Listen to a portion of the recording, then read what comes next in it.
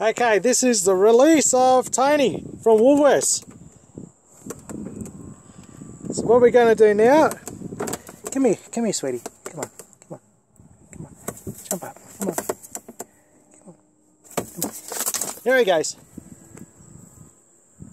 He's off. Come on Tony.